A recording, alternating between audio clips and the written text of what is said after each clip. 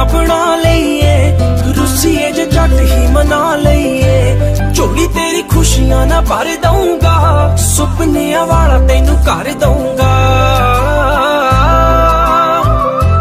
ਫਿੱਕੇ ਨਹੀਂ ਲਾ ਰਹੇ ਸੱਚੀ ਗੂੜਿਆ। ਤੇਰੇ ਲਈ ਇਹ ਹੱਥ ਰੱਬ ਅੱਗੇ ਜੁੜਿਆ।